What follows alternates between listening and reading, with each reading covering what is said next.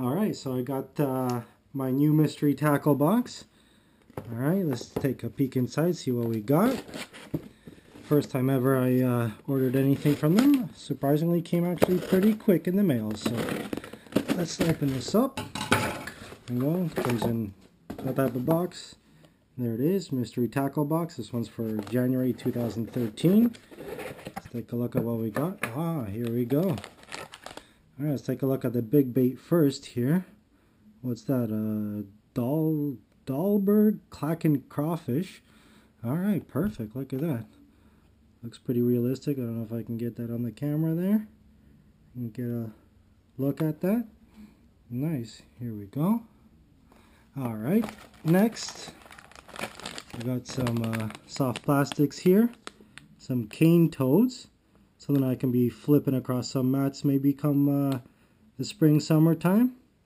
Catch some bass on that guy from uh, Gambler.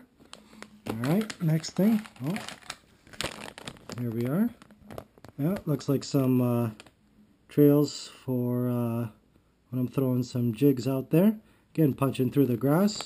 Perfect for some bass. uh, there we are. Deadly on largemouth, smallmouth. Perfect.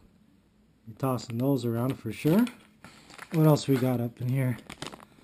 It's a bug. What's this? Another, some more soft plastics.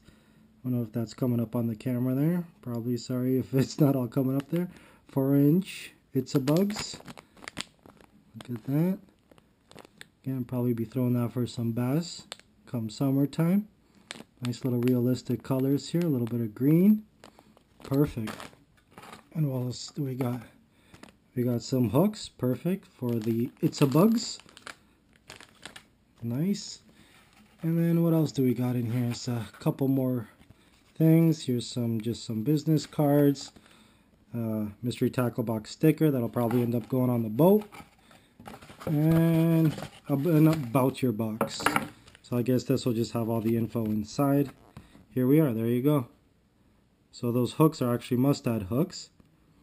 Alright so that's it for uh, the January mystery tackle box. Hopefully be ordering this uh, again in the near future and uh, give myself another tackle box. Thanks for watching